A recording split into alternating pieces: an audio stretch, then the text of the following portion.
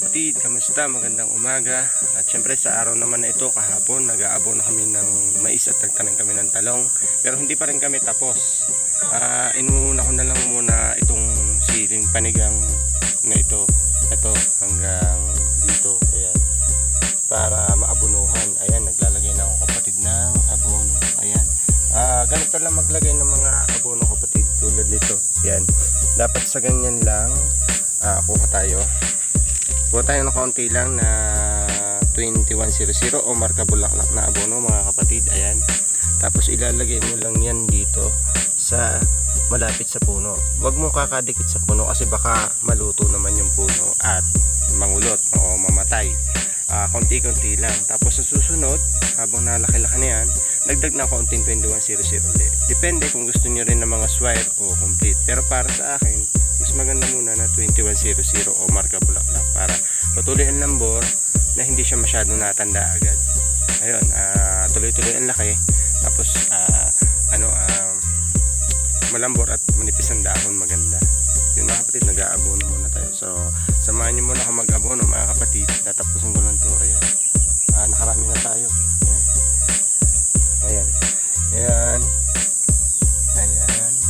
sili buhay na. Mga kapatid ganda na. Tapos ayun. Ayan. Tapos ayun. Ayan mga kapatid. Tapos mamaya pag natapos natin ito ay mag ano naman ako magtatanim ako. Tapos yung medyo namatay nung tag-init lalagyan ko ulit. Marami pa tayong pananim na panigang at saka talong.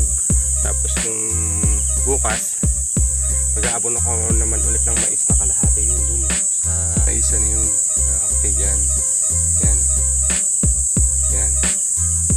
dapat matapos natin para sabay-sabay yung itit ng ugat ng mais.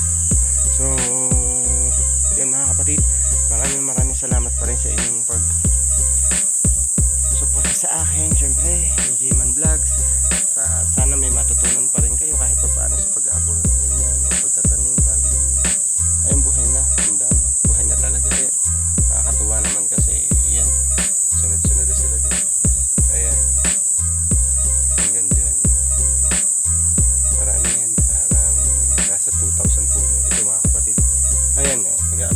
habang basa pa kasi ito yung hinihintay natin ng ulan na binigay na sa atin. Kaya sana tuloy-tuloy kahit paambon-ambon para hindi na mahirapan ng mga halaman natin panahin at ayun mga kapatid